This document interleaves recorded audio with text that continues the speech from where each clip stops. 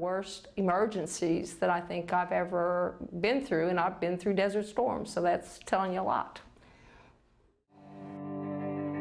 August 29. People were bringing things, items of clothing to help us and stuff. and, What do you need? And a man walked up to me and he said, This is for the refugees. And I was like, "Oh, refugees? What?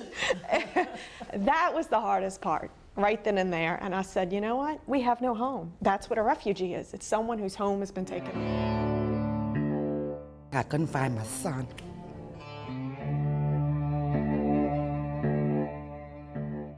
When I saw Circle Food Store underwater, that's when I knew it was all over.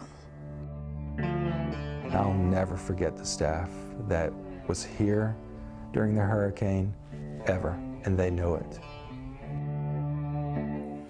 He walked into the facility with another deputy, and he said, he's a grown man, and he started crying. He said, Mom, I thought you and Dad were dead. We're watching on TV and they're seeing their entire city flooded to the rooftops, not knowing if their husbands are okay, if their children are okay.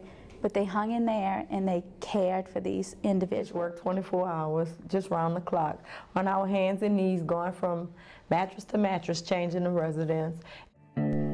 People who work in nursing homes are often invisible, or even worse, they're viewed negatively.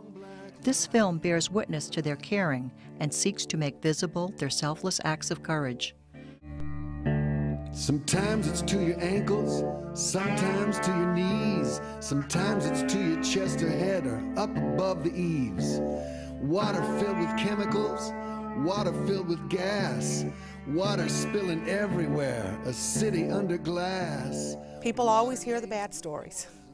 And, and sometimes it's because the people who have the good stories don't really talk about This them. film is a tribute to the staff of Louisiana's nursing homes who brought thousands of residents safely through the storm and its aftermath.